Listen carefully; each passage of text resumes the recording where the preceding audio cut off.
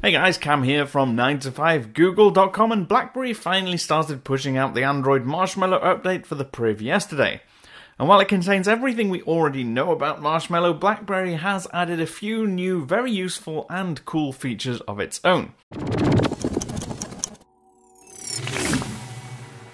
Now, first up is a new gesture support when you're typing. Now, with most software keyboards on Android, regardless of who designed it, you normally find a flow like feature, where you can simply glide around the letters without lifting your finger to type words. With Android Lollipop, BlackBerry didn't have that on its own software keyboard, but now it does.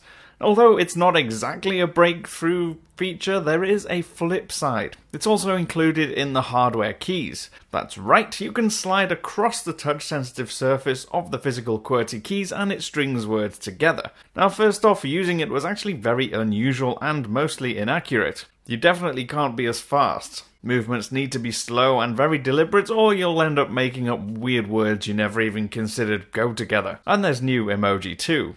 Yay! Of course, Android Marshmallow includes Doze mode, which dramatically improves standby battery life, which seems to be working okay so far. Leaving the phone off charge overnight only drops about 10% of the battery's capacity. And although app permissions isn't bespoke to BlackBerry, I do like that you can access them from the DTEK security app. It makes it easy to check overall security of your phone and change your app permissions without having to head over to the settings menu. More importantly, it lets you see how many times a particular hardware or software element has been accessed by each individual app.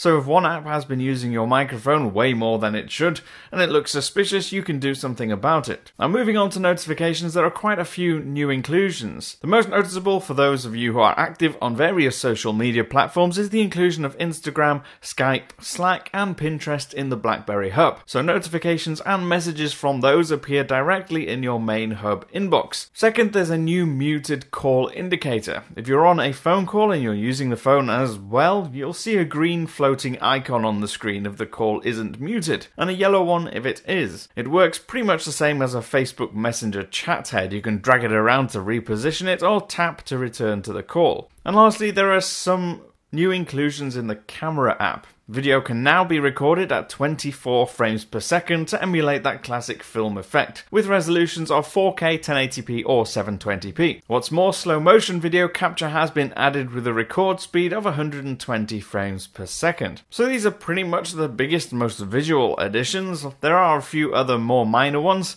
Now let us know if you spot anything else new in yours and shout out in the comments. Don't forget to like and subscribe to our channel if you like our videos and you can stay up with all things Google, Chrome, or Android. I've been Cam, I'm at Cam Bunton on Twitter, and I will see you again soon.